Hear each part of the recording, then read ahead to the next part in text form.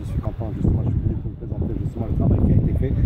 Peut-être vous connaissez un petit peu la situation auquel nous étions exposés. Nous avons, eu un terrain, justement, comme vous l'avez vu, c'était un rocher.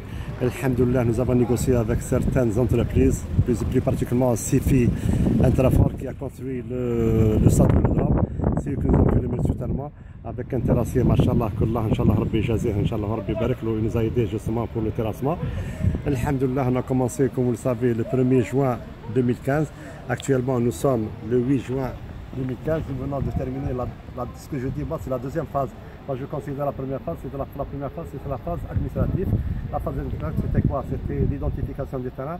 Après l'identification du terrain, il y avait le conseil d'administration d'HMP qui a validé la vente de ce terrain à 30 000 euros superficie de 904 mètres carrés. Donc, alhamdoulilah, je crois que HMP maintenant, le, le fait qu'ils vont voir justement le terrain, ils vont regretter justement de nous avoir vendu ce terrain à ce prix. Mais alhamdoulilah, c'est grâce à Allah justement qui nous a facilité justement.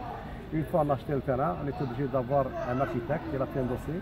On a déposé ce dossier justement à la ville. Quelque part, exactement le 31 mars, le permis de construire nous a été accordé Étions obligés de prendre un bureau d'études. On a pris un bureau d'études. Nous avons fait l'analyse du sol. Après l'analyse du sol, nous avons établi le réseau eau et le réseau électrique. Après, nous étions obligés de faire un appel d'offres nous avons lancé un appel d'offres. Nous avons retenu cette entreprise CIFI qui a fait le soutènement.